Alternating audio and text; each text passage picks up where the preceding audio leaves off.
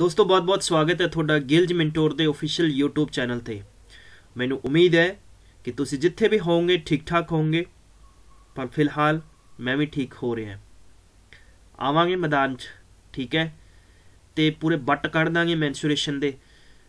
ਜਿਵੇਂ ਕਿ ਤੁਹਾਨੂੰ ਪਤਾ ਹੈ ਕਿ ਪੰਜਾਬ ਪਟਵਾਰੀ ਕ੍ਰੈਸ਼ ਕੋਰਸ ਇਹ ਚੱਲ ਰਿਹਾ ਹੈ ਔਰ ਪੰਜਾਬ ਪਟਵਾਰੀ ਔਰ ਕਾਨਗੋ ਪੇਪਰ ਦੀ ਤਿਆਰੀ 'ਚ ਜੋਰਾਂ ਸ਼ੋਰਾਂ ਨਾਲ ਬਹੁਤ ਜ਼ਿਆਦਾ ਬੱਚੇ ਲੱਗੇ ਹੋਏ ਨੇ। ਔਰ ਅੱਜ ਦੇ ਇਸ ਸੈਸ਼ਨ ਦੇ ਵਿੱਚ ਮੈਂ ਤੁਹਾਨੂੰ ਨਹੀਂ ਕਵਾਂਗਾ ਕਿ ਚੈਨਲ ਨੂੰ ਲਾਈਕ ਕਰੋ ਸੈਸ਼ਨ ਸ਼ੇਅਰ ਕਰੋ, ਬਿਲਕੁਲ ਵੀ ਨਹੀਂ ਕਵਾਂਗਾ। ਤੁਸੀਂ ਧੱਕੇ ਨਾਲ ਇਹ ਕਰੋਗੇ ਕਿਉਂਕਿ ਤੁਹਾਡੇ ਅੰਦਰੋਂ ਧੱਕੇ ਵੱਜਣਗੇ, ਕਿਉਂਕਿ ਮੈਂ ਤੁਹਾਨੂੰ ਅੱਜ ਇੱਕ ਛੋਟੀ ਜੀ ਬਲਕਿ ਟ੍ਰਾਇਲ ਦਿਖਾਵਾਂਗਾ ਔਰ ਪਿਕਚਰ ਤਾਂ ਬਾਕੀ ਹੈ। ਜਿਵੇਂ ਦੋਸਤੋ, ਤੁਹਾਨੂੰ ਮੈਂ ਹਰ ਵਾਰ ਕਹਿਣਾ ਹੈ ਕਿ ਇਸ ਚੈਨਲ ਤੇ ਤੁਹਾਨੂੰ ਬਹੁਤ ਕੁਝ ਸਿੱਖਣ ਨੂੰ ਮਿਲੇਗਾ, ਠੀਕ ਹੈ? ਟ੍ਰਿਕਸ ਦੇ ਬਹੁਤ ਸਾਰੇ ਗੱਟੇ ਬੋਰੀਆਂ ਭਰ ਕੇ ਨਾ ਤੇ ਸੂਬੇ ਨਾਲ ਸਿਉਂ ਕੇ ਉਹਨਾਂ ਨੂੰ ਰੱਖਦਾ ਸੀਗਾ। ਪਰ ਥੋੜਾ ਜਿਹਾ ਵਿੱਚ ਨਾ ਅੱਜ ਇੱਕ ਸਾਈਡ ਤੋਂ ਥੋੜੀ ਜੀ ਮੋਰੀ ਕਰਕੇ ਤੇ ਇੱਕ ਟ੍ਰਿਕ ਕੱਢੀ ਹੈ। ਮੈਂ ਕਿਹਾ ਵੀ ਬੱਚੇ ਪਰੇਸ਼ਾਨ ਹੋ ਰਹੇ ਆ ਖਾਸ ਤੌਰ ਤੇ ਕਈ ਕਹਿ ਦਿੰਦੇ ਸਰ ਪਲੀਜ਼ ਇੱਕ ਟ੍ਰਿਕ ਦਿਖਾ ਦਿਓ।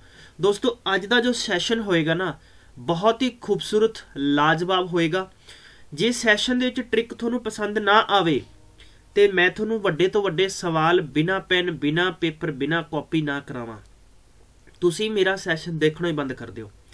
ਔਰ ਇਸ ਟ੍ਰਿਕ ਦਾ ਨਾਮ ਹੈ ਟ੍ਰਿਕ ਦੀ ਡੋਜ਼ ਕੋਕਾ ਟ੍ਰਿਕ। ਠੀਕ ਹੈ?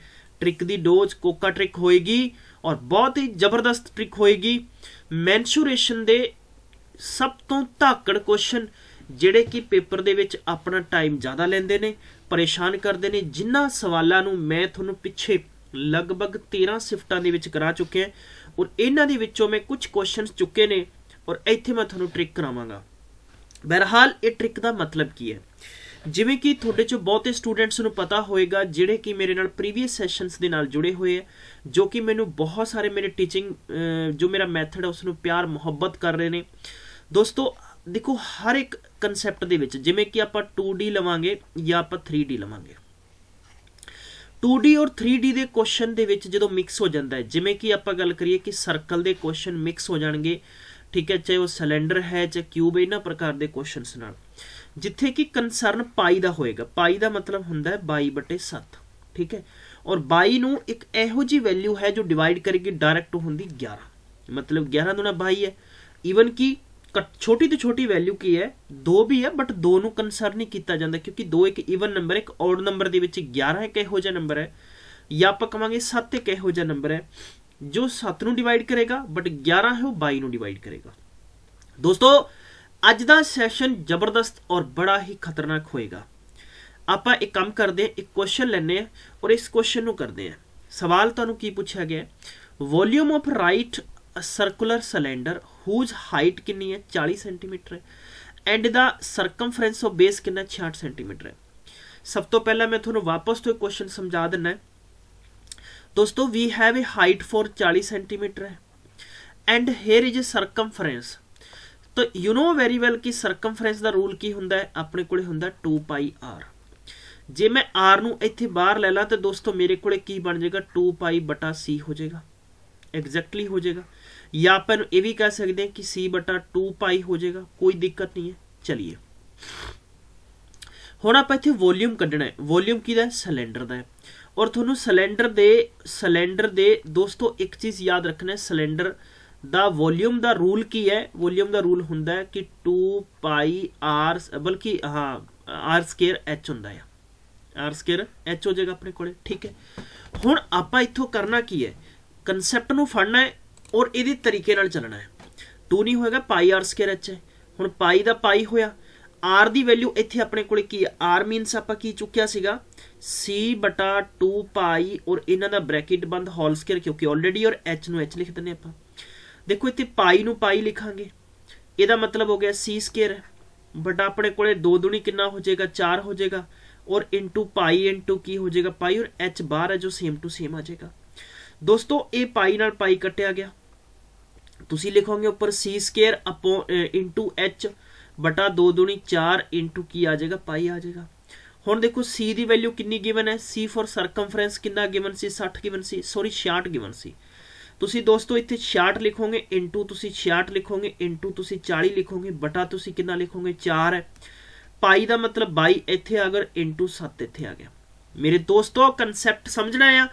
ਕਨਸੈਪਟ ਸਮਝ ਆ ਗਿਆ ਤੁਸੀਂ ਮੈਂਸੂਰੇਸ਼ਨ 'ਚ ਕਦੇ ਧੋਖਾ ਕਦੇ ਮਾਰ ਨਹੀਂ ਖਾਓਗੇ ਮੈਂ ਆਲਰੇਡੀ ਤੁਹਾਡੇ ਨਾਲ ਜ਼ਿਕਰ ਕਰ ਚੁੱਕਿਆ ਕਿ ਐਸਐਸਸੀ ਸੀਜੀਐਲ ਬਾਰੇ ਕੌਣ ਨਹੀਂ ਜਾਣਦਾ ਸਭ ਨੂੰ ਪਤਾ ਹੈ ਸੀਜੀਐਲ ਮੈਂ 4 ਟਾਈਮ ਕਰੈਕ ਕੀਤਾ ਹੈ ਠੀਕ ਹੈ ਇਸ ਕਰਕੇ ਦੋਸਤੋ ਮੇਰੇ ਕੋਲੇ ਜਿੰਨੇ ਵੀ ਮੈਥਡਸ ਹੱਥਕੰਡੇ ਫੰਡੇ ਲੌਜੀਕ ਨੇ ਮੈਂ ਜੀ ਜਾਨਣਾ ਮੇਰੇ ਸਟੂਡੈਂਟਸ ਦੇ ਨਾਲ ਸਾਂਝੇ ਕਰ ਦਾਂਗਾ ਔਰ ਮੇਰੀ ਗਾਰੰਟੀ ਹੈ ਜੇ ਕੰਮ ਸਹੀ ਤਰੀਕੇ ਨਾਲ ਕਰੋਗੇ ਨਾ ਤਾਂ ਤੀਰ ਨਿਸ਼ਾਨੇ ਤੇ ਲੱਗੇਗਾ ਤੁਹਾਨੂੰ ਮੈਂ ਇਹ ਤਰੀਕਾ ਆਲਰੇਡੀ ਕਰਵਾ ਚੁੱਕਿਆ 22 ਤੇ 66 ਹੋ ਗਿਆ ਇਦਾਂ ਕੱਟੋਗੇ ਤੁਹਾਡੇ ਕੋਲੇ 10 ਆ ਗਿਆ ਹੁਣ ਤੁਹਾਡੇ ਕੋਲੇ 7 66 3 10 ਬਚੇ ਮਲਟੀਪਲਾਈ ਕਰਨ ਚ ਪ੍ਰੋਬਲਮ ਹੈ ਲਾਸਟ ਡਿਜਿਟ ਚੁੱਕ ਲੋ ਕਿੰਨਾ ਹੋ ਗਿਆ 7 ਹੈ 21 21 ਤੇ 63 ਇਟ ਮੀਨਸ ਹੈ ਲਾਸਟ ਯਾਨੀ ਲਗਭਗ 21 ਤੇ ਹਾਂ 63 ਜਾਂ ਤੁਸੀਂ 7 ਕਾ 42 3 ਦੁਣੀ 6 ਇਨਟੂ 2 ਨਾਲ ਕਰੋਗੇ ਤਾਂ ਆਲਮੋਸਟ 60 ਆ ਰਿਹਾ ਇਹ ਤਰੀਕਾ ਤੁਹਾਡੇ ਨਾਲ ਮੈਂ ਸਾਂਝਾ ਕਰ ਚੁੱਕਿਆ ਨਾ ਤਾਂ ਤੁਹਾਨੂੰ ਪਤਾ ਹੈ ਕਿ ਮਲਟੀਪਲਾਈ ਪੂਰਾ ਨਹੀਂ ਕਰਨਾ 60 ਕੀ ਦੇ ਆ ਰਿਹਾ ਆਪਸ਼ਨ ਨੰਬਰ 4 ਦੇ ਆ ਰਿਹਾ। ਬਟ ਇਹ ਮੇਰਾ ਲੌਜੀਕਲ ਵੀ ਹੈ। ਟ੍ਰਿਕ ਕੀ ਕਹਿੰਦੀ ਹੈ? ਟ੍ਰਿਕ ਦੀ ਡੋਜ ਇਹ ਕਹਿੰਦੀ ਹੈ ਨੋਟ ਕਰ ਲਓ ਯਾਰ, ਪੂਰੀ ਮੈਥਮੈਟਿਕਸ ਦੇ ਅੰਦਰ ਤੁਹਾਡੀ ਆਰ ਐਸ ਅਗਰਵਾਲ, ਤੁਹਾਡੀ ਕਿਰਨ, ਵਿਰਨ ਜਿੰਨੀਆਂ ਵੀ ਨੇ, ਤੁਹਾਨੂੰ ਕਿਸੇ ਬੁੱਕ ਨੇ ਨਹੀਂ ਪੜਾਉਣਾ ਇਸੇ ਕਰਕੇ YouTube ਤੇ ਤੁਹਾਨੂੰ ਲਾਈਵ ਲੈਕਚਰਸ ਕਰਾਏ ਜਾਂਦੇ ਆ। ਔਰ ਇੱਕ ਸੌਂ ਖਾਇਓ ਮੇਰੇ ਨਾਲ, ਜੇ ਮੇਰੀ ਟ੍ਰਿਕ ਤੁਹਾਨੂੰ ਪਸੰਦ ਆਈ। ਤੁਸੀਂ ਘੱਟੋ ਘੱਟ ਇਸ ਵੀਡੀਓ ਨੂੰ 15 15 ਵਾਰ ਆਪਣੇ ਦਿਲ ਨਾਲ ਸ਼ੇਅਰ ਕਰ ਦਿਓ, ਨਹੀਂ ਤਾਂ ਨਹੀਂ ਕਰਨਾ, ਠੀਕ ਹੈ? ਜਦੋਂ ਵੀ ਤੁਹਾਨੂੰ ਯਾਦ ਰੱਖਣਾ ਹੈ, ਪਾਈ ਦਾ ਕਨਸੈਪਟ ਆ ਜੇ, ਜਦੋਂ ਵੀ ਕਾਹਦਾ ਕਨਸੈਪਟ ਆ ਜੇ, ਪਾਈ ਦਾ ਚੁੱਕ ਕੇ 11 ਨਾਲ ਡਿਵਾਈਡ ਕਰ ਦੋ ਉਹਨੂੰ ਸਵਾਲ ਨੂੰ, ਚੁੱਕ ਕੇ ਕਾਹਦੇ ਨਾਲ ਡਿਵਾਈਡ ਕਰ ਦੋ 11 ਨਾਲ। ਹੁਣ 11 ਨਾਲ ਟ੍ਰਿਕ ਕੀ ਹੁੰਦੀ ਹੈ ਡਿਵਾਈਡ ਕਰਨ ਦੀ ਵੀ ਦੇਖ ਲਓ, ਇਹ ਵੀ ਦੇਖ ਲਓ ਤੁਸੀਂ ਸਵਾਲਾਂ ਦੇ ਵਿੱਚ। ਸਵਾਲ ਹਾਲਾਂਕਿ ਦੇਖੋ ਤੁਹਾਨੂੰ ਮੈਂ ਕਰਵਾਇਆ ਆ ਔਰ ਸਮਝ ਵੀ ਆਏਗਾ। ਦੇਖੋ ਟ੍ਰਿਕ ਸਮਝ ਲਓ ਪਹਿਲੇ 11 ਦੇ ਡਿਵੀਜ਼ਨ ਕੀ ਹੁੰਦਾ ਹੈ? ਜਿਵੇਂ 22 ਦਾ ਵੀ ਮੇਰੇ ਕੋਲੇ ਆ ਨੰਬਰ ਹੈ। ਇਹ ਨੰਬਰ ਹੈ। ਦੇਖੋ, ਇੱਥੋਂ ਐ ਕਰਕੇ ਇੱਕ ਛੋਟ, ਇੱਕ ਛੱਡ ਕੇ ਇੱਕ ਚੁੱਕ ਲਓ। ਚੁੱਕ ਲਿਆ।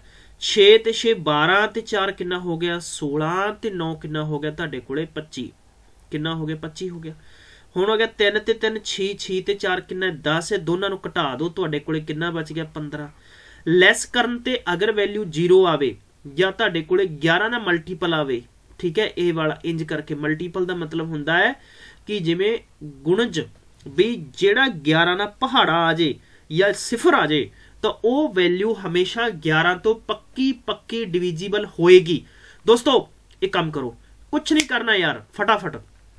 ਸਾਨੂੰ ਨਹੀਂ ਲੈਣਾ ਦੇਣਾ ਆ ਕੀ ਹੈ? ਸਾਨੂੰ ਨਹੀਂ ਲੈਣਾ ਦੇਣਾ ਆ ਕੀ ਹੈ? ਇਹਨੂੰ 11 ਨਾਲ ਡਿਵਾਈਡ ਕਰਾਂਗੇ 11 5 55 ਪਿੱਛੇ 43 ਬਚ ਗਿਆ, ਭਾਗ ਨਹੀਂ ਜਾਏਗਾ।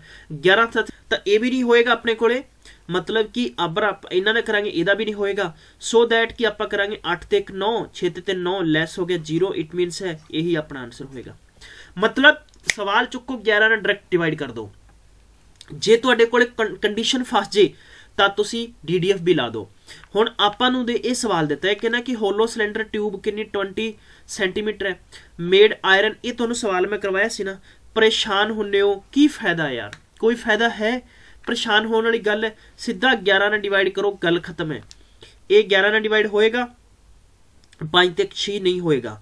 8 ਤੇ 9 8 ਨਹੀਂ ਹੋਏਗਾ। ਇਹ ਲੋ 444 ਹੋ ਗਿਆ 440 ਹੋ ਗਿਆ ਜੀ, ਆਪਣਾ ਆਨਸਰ ਹੋ ਗਿਆ, ਗੱਲ ਖਤਮ ਹੈ।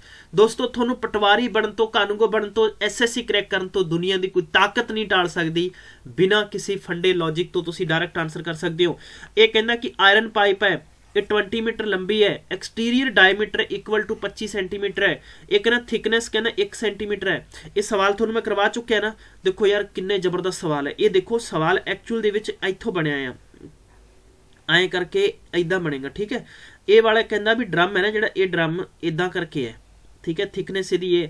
ਹੁਣ ਇੱਥੋਂ ਜਿਹੜੀ ਰੇਡੀਅਸ ਆਏਗੀ ਨਾ, ਦੇਖੋ ਸਵਾਲ ਦੇ ਅੰਦਰ ਕੀ ਆਏਗਾ ਕਿ ਬਾਹਰੋਂ ਇੱਕ ਤਾਂ ਰੇਡੀਅਸ ਆਏਗੀ, ਉਹ ਡੈਫੀਨਿਟਲੀ ਹੋਏਗੀ, ਆਪਣੇ ਕੋਲੇ ਕਿਹੜੀ ਹੋਏਗੀ? R1 ਹੋਏਗੀ। ਬਾਹਰ ਵਾਲੀ ਆਪਾਂ R1 ਲਾ ਦਿੰਨੇ ਔਰ ਅੰਦਰ ਵਾਲੀ ਆਪਾਂ R2 ਕਰ ਦਿੰਨੇ ਕਲੀਅਰ ਹੋ ਗਿਆ ਨਾ ਮੇਰਾ ਕਨਸੈਪਟ ਹੁਣ ਦੇਖੋ, ਅਗਰ ਇਹ ਕਹਿੰਦਾ ਵੀ ਡਾਇਮੀਟਰ 25 ਹੈ, ਤਾਂ 25 ਬਟੇ 2 ਤੁਹਾਡੇ ਕੋਲੇ ਕੀ ਹੋ ਜਾਏਗਾ? ਐਕਸਟੀਰੀਅਰ ਹੋ ਜਾਏਗਾ। ਮਤਲਬ ਮੈਂ ER ਕਰ ਦਾਂਗਾ। ਅਤੇ ਇੰਟੀਰੀਅਰ ਅੰਦਰ ਦੀ ਕਿੰਨੀ ਹੋਏਗੀ? ਤਾਂ ਮੈਂ IR ਕਰ ਦਿੰਨਾ ਤਾਂ IR ਚੋਂ ਆਪਾਂ ਕੀ ਕਰਾਂਗੇ? 1 ਸੈਂਟੀਮੀਟਰ ਘਟਾ ਦਾਂਗੇ। ਜੇ ਆਪਾਂ ਕਹਿੰਨੇ ਕਿ 12.5 ਹੈ, ਤੇ 12.5 ਚੋਂ 1 ਸੈਂਟੀਮੀਟਰ ਘਟਾ ਦਾਂਗੇ ਤੇ 11.5 ਅੰਦਰ ਦਾ। ਤਾਂ ਯਾਰ, ਇੰਨਾ ਚੱਕਰ ਕੌਣ ਕਰੇਗਾ?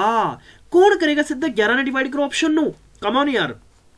ਇਹ ਹੋਏਗਾ ਨਹੀਂ, ਕਿੰਨਾ ਹੋ ਗਿਆ ਤੁਹਾਡੇ ਕੋਲ 6 3 ਨੂੰ ਆ ਲਓ ਜੀ ਆਪਸ਼ਨ ਹੋ ਗਿਆ, ਗੱਲ ਖਤਮ ਹੈ, ਬਾਕੀ ਕੋਈ ਆਏਗਾ ਨਹੀਂ ਆਪਸ਼ਨ ਨੰਬਰ ਦੂਜਾ ਆ ਗਿਆ ਆਨਸਰ ਆਪਣਾ। ਦੋਸਤੋ, ਬਹੁਤ ਇੰਪੋਰਟੈਂਟ ਫੰਡੇ ਲੌਜੀਕ ਟ੍ਰਿਕਸ ਨੇ। ਅਗਰ ਤੁਹਾਡਾ ਦਿਲ ਮੰਨੇ, ਤਾਂ ਤੁਸੀਂ ਬਸ ਨਾ ਧੂਆਂ ਠਾ ਦਿਓ, ਕੋਕਾ ਹੈ ਜਮਾ, ਠੀਕ ਹੈ, ਬੰਬ ਹੈ, ਬਸ ਸ਼ੇਅਰ ਕਰ ਦਿਓ ਯਾਰ, ਹੋਰ ਕੋਈ ਕਮੀ ਨਹੀਂ ਹੋਣੀ ਚਾਹੀਦੀ, ਠੀਕ ਹੈ? ਨੈਕਸਟ ਆਪਣੇ ਕੋਲ ਜਿਵੇਂ ਆਹ ਸਵਾਲ ਤੁਹਾਨੂੰ ਮੈਂ ਕਰਵਾਏ ਸੀ ਅੱਜ, ਦੇਖੋ ਕਿੰਨੇ ਜ਼ਬਰਦਸਤ ਸਵਾਲ ਨੇ, ਲੰਬੇ ਵੀ ਨੇ, ਪਰ ਤੁਸੀਂ ਕੀ ਕਰਨਾ ਹੈ? 11 ਵਾਲਾ ਕੇਸ ਲੱਭ ਲਓ 6 3 9 ਹੋਏਗਾ ਨਹੀਂ ਇਹ ਹੋਏਗਾ ਨਹੀਂ, ਇਹ ਹੋਏਗਾ ਨਹੀਂ ਆਪਸ਼ਨ ਬਚ ਗਿਆ, ਗੱਲ ਖਤਮ ਹੋ ਗਈ। 6 ਤੇ 9 9 9 ਤੇ 3 12 ਹੋ ਗਏ 6 6 12 ਹੋ ਗਏ ਆਪਸ਼ਨ ਮਤਲਬ ਕਿ 12 ਚ 12 ਘਟਾ ਦਾਂ ਕਿੱਦਾਂ ਹੋਇਆ? 6 9 ਇਦਾਂ ਦੇਖੋ। ਇਹਨਾਂ ਦਾ ਜੋੜ ਕੀਤਾ 12 ਇਹਨਾਂ ਦਾ ਜੋੜ ਕੀਤਾ 12 12 ਚੋਂ 12 ਕੱਢਿਆ 0 0 ਜਿੱਥੇ ਆ ਗਿਆ 11 ਨਾਲ ਡਿਵਾਈਡ ਹੋਏਗਾ, ਜਾਂ 11 ਦਾ ਪਹਾੜਾ ਆ ਜੇ, ਤਦ ਵੀ ਹੋਏਗਾ। ਕਲੀਅਰ ਹੈ? ਦੱਸੋ, ਅਗਲਾ ਸਵਾਲ ਦੱਸੋ ਫਟਾਫਟ। Number of spherical bullets that can be made out of solid cube and whose as measure 44 centimetre ਹੈ ਔਰ ਇਹ ਕਹਿੰਦਾ ਕਿ bullet being of 4 centimetre diameter ਹੈ ਸਿੱਧਾ ਚੁੱਪਚਾਪ ਕਰਕੇ 11 ਡਿਵਾਈਡ ਕਰ ਲਓ ਕਿੰਨਾ ਹੋ ਗਿਆ 4 ਤੇ 2 6 5 ਤੇ 6 ਆਪਸ਼ਨ ਨੰਬਰ ਪਹਿਲਾ ਹੋ ਗਿਆ ਬਾਕੀ ਕੋਈ ਆਪਸ਼ਨ ਨਹੀਂ ਗੱਲ ਖਤਮ ਆਪਸ਼ਨ ਨੰਬਰ ਪਹਿਲਾ ਆਨਸਰ ਹੋ ਗਿਆ ਚਲੋ ਜੀ ਦੋਸਤੋ ਇਹ ਧਮਾਕੇਦਾਰ ਸੈਸ਼ਨ ਹੈ ਇਹ ਤੁਹਾਨੂੰ ਦੱਸਿਆ ਜਾ ਰਿਹਾ ਹੈ ਇਹ ਰਿਹਾ ਤੁਸੀਂ ਫਟਾਫਟ ਮੈਨੂੰ ਇਹਦਾ ਆਨਸਰ ਦੱਸੋ ਕੀ ਹੋ ਸਕਦਾ ਕੁਇਕਲੀ ਤੁਹਾਡੇ ਤੇ ਟਾਸਕ ਹੈ ਤੁਹਾਡੇ ਤੇ ਜ਼ਿੰਮੇਵਾਰੀ ਹੈ ਤਾਂ ਇਹ ਅੱਜ ਦੀ ਸੀਰੀਜ਼ ਦਾ ਅੰਤਿਮ ਕੁਐਸਚਨ ਤੁਸੀਂ ਕਰੋਗੇ ਇਹ ਸੀ ਮੇਰੀ ਕੋਕਾ ਟ੍ਰਿਕ ਤੁਹਾਨੂੰ ਕਿਵੇਂ ਲੱਗੀ? ਜੇ ਲੱਗੀ ਜਾਨਦਾਰ, ਸ਼ਾਨਦਾਰ, ਧਮਾਕੇਦਾਰ, ਇੱਕਦਮ ਬੰਬ ਹੈ, ਤਾਂ ਪਲੀਜ਼ ਇਸ ਘੱਟੋ ਘੱਟ ਵੀ 15 15 ਵਾਰ ਤੁਸੀਂ ਸ਼ੇਅਰ ਕਰੋਗੇ। ਜੇ ਨਹੀਂ ਪਸੰਦ, ਨਹੀਂ ਸ਼ੇਅਰ ਕਰਨਾ। Thank you so much have a nice day take care bye bye